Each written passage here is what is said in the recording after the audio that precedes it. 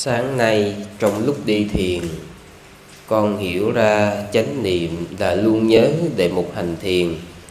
Con nhớ lại, trong bát chánh có niệm, Trong ngũ quyền cũng có niệm.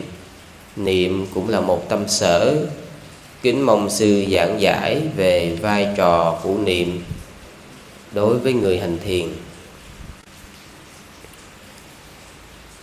Vai trò của niệm nó giống như một người à, quan giữ kho thông báo cho nhà vua biết à, trong kho có bao nhiêu lượng bạc có bao nhiêu lượng vàng có bao nhiêu vải có bao nhiêu gỗ à, có à, bao nhiêu xe à, bao nhiêu à, vũ khí vân vân. Thì niệm cũng vậy nó sẽ báo cho chúng ta biết đây là hơi thở à, đây là cái phải tập trung à, đây là cái không nên lưu ý tới.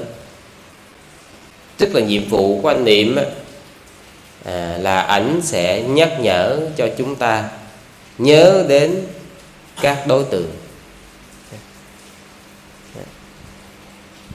Còn cái chánh niệm à, như thế nào là chánh niệm? Là sự để tâm sự ghi nhớ một cách đúng đắn đâu là đối tượng mình cần phải lưu ý và đâu là đối tượng không cần phải lưu ý. Đâu là đối tượng cần phải lưu ý?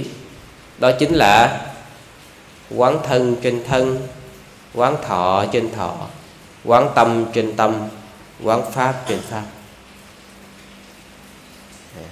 Đó là đối tượng cần phải lưu ý.